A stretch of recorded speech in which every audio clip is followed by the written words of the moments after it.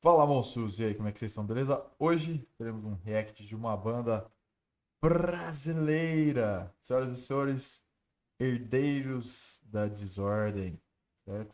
Gostei, já gostei do nome. O nome já diz muita coisa do que está por vir. Com certeza é uma banda de protesto, é uma banda de meter o louco e tá nada, nada melhor que esse momento para meter o louco, né? Uh, vamos lá. É, a música vai ser a, a música chama-se Outra Face. É, Raiders Desordem é uma banda formada em 2014, né? Caraca, eles já tem uma, uma bela de uma estrada aí. Parabenizar vocês aí por tanto tempo de estrada, mano. Parabéns. E esse som é de um EP, eu acho que acredito ser EP recente, né? Início de uma nova guerra. E uh, vou deixar os dados aí embaixo do, das redes sociais, os contatos e assim por diante, beleza? Uma banda de deathcore é, e barra hardcore. E, mano, vamos tacar lepau no carrinho, vamos ver. Deixar carregando aqui. E vamos nessa.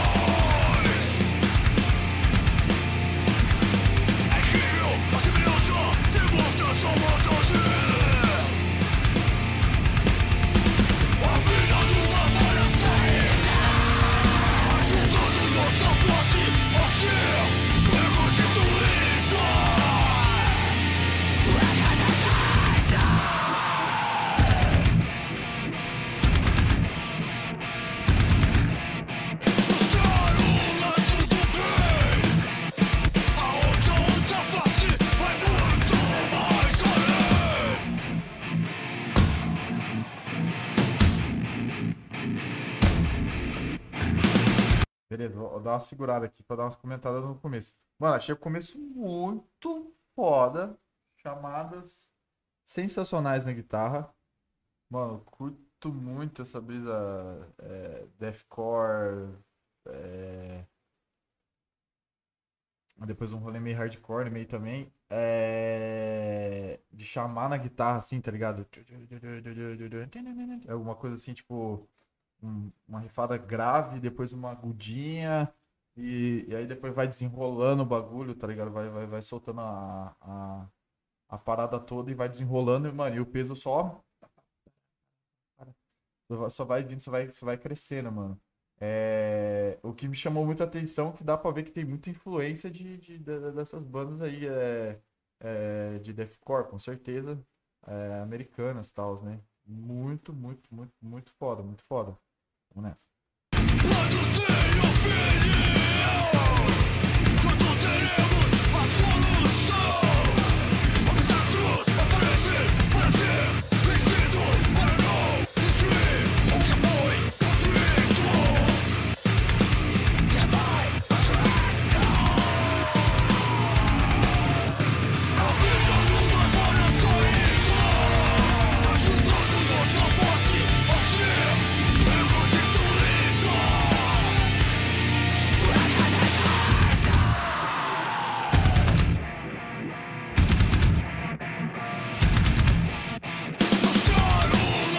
Parada bem, é, bem Sepultura style, né?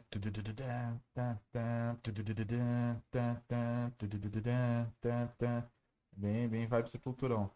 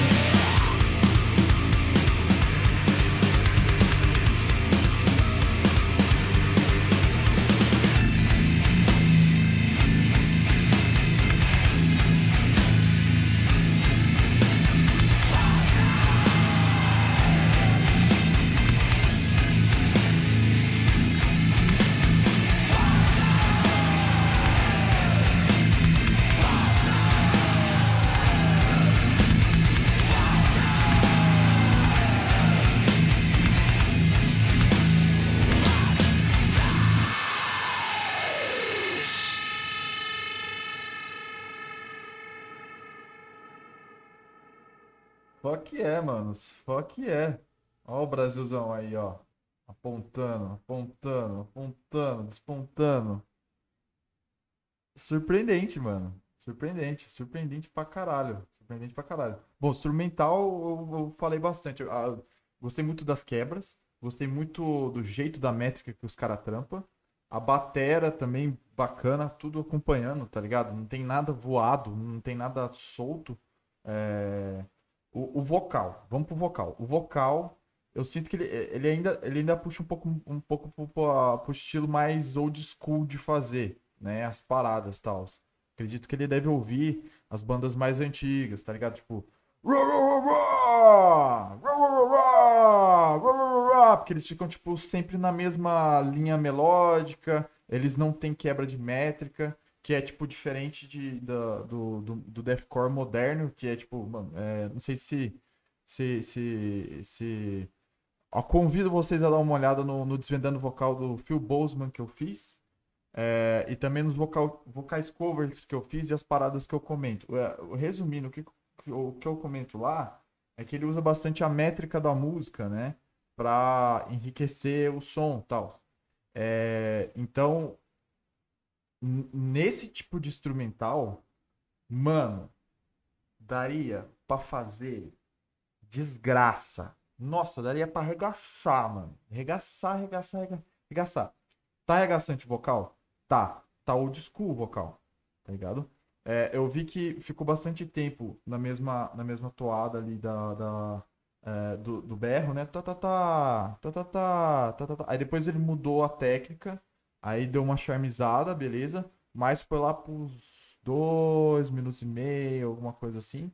Aí deu uma charmizada legal, beleza. Aí depois foi pro uns high grow, assim, né? É, mano, pica, mano. Pica. Aquilo lá é pica pra caralho. Muito, muito foda. Mas é aquela questão. Eu tô, eu tô, eu tô dando os pontos na questão vocal, porque eu sou professor de vocal, vocalista, essas coisas todas. Então eu tô, eu tô dando os pontos em cima disso pra galera é, observar também e, e, e, ver a diferença de uma coisa para outra, tá ligado? vejo que ele, é, ele busca a linha um pouco mais tradicional que a linha mais antiga, tá ligado? É, mas é, o, essa, essa, essa ideia seria para um próximo trabalho para ter um diferencial no próximo trabalho também. Porque é o que eu sempre falo, né? Tipo assim, as bandas elas vão lançando material, material né? Tem que tomar cuidado para não virar uma, uma coisa monótona, né? Tipo, o cara lançou uma, é, esse EP, depois pega, vai lançar um outro EP, lança igual, sabe? Não tem uma diferença, não tem um, uma, uma quebra de expectativa, é, não tem nada. Então, tipo assim, isso é um norte. É caso a, o, o, o, acho que é o Kiko, né? Que é o vocalista caso o Kiko ele queira deslumbrar esse lado, mano, nossa, lindo. Ele só ia aproveitar o que o instrumental já tá, já tá desmiuçando, que é esse lance da quebra, esse lance do, do rolê todo, né? Então, basicamente isso.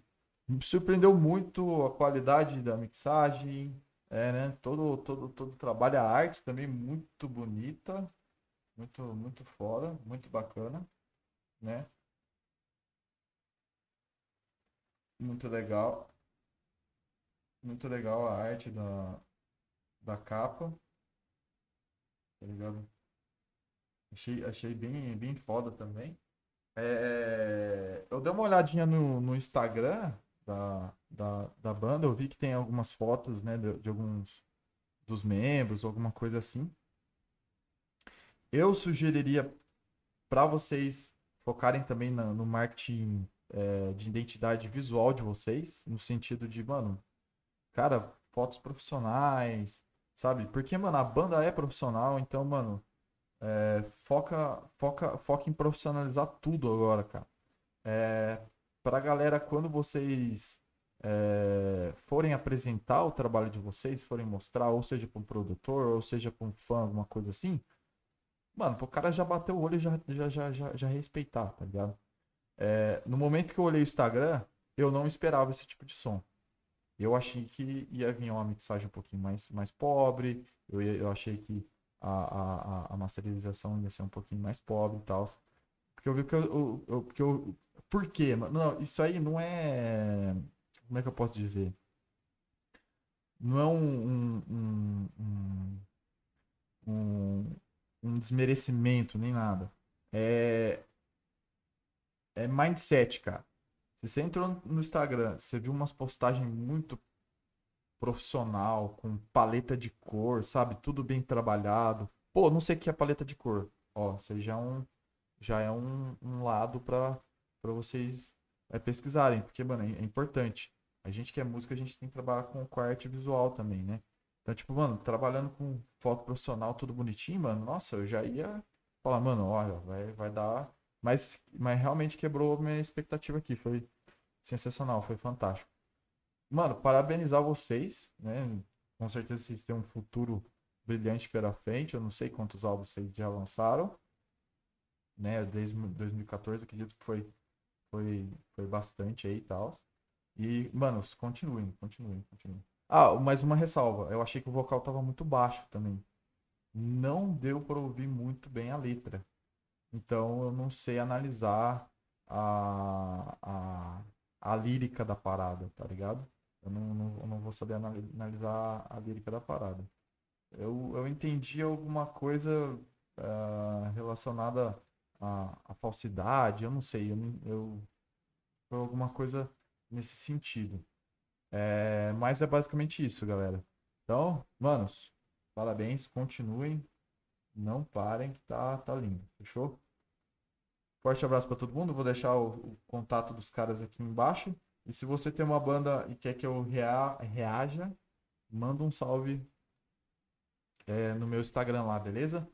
É, forte abraço para todo mundo e fui.